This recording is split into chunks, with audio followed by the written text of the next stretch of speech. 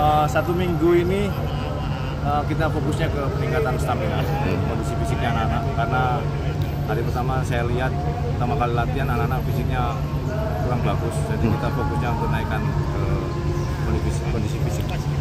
Karena waktunya mepet, jadi saya bikin latihan pagi sore, paginya fokus untuk peningkatan fisik, sorenya kita masuk ke teknik sama taktikal. Karena waktunya udah nggak keburu, kita cuma punya kurang lebih satu bulan lagi sebelum kompetisi mulai. Tri, ya masih adaptasi karena fokusnya fisik, jadi mungkin mereka masih capean kan karena kita latihan pagi sore. Tapi saya yakin dengan squad yang ada ini nanti GU bisa bagus lah di kompetisi. Buat saya gabung di grup mana aja itu nggak masalah mas.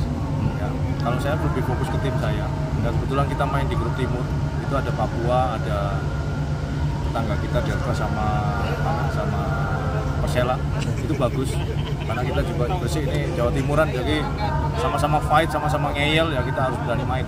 Apalagi di sana cuacanya panas ya kita latihan jam 2 siang juga di sini tidak ada masalah mas.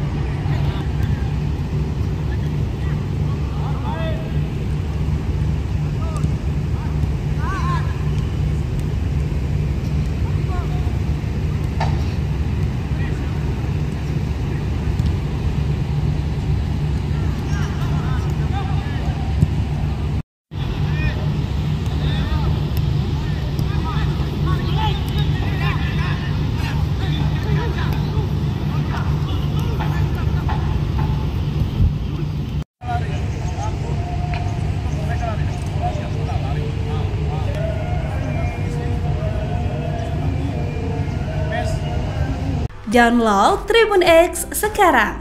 Menghadirkan lokal menjadi Indonesia.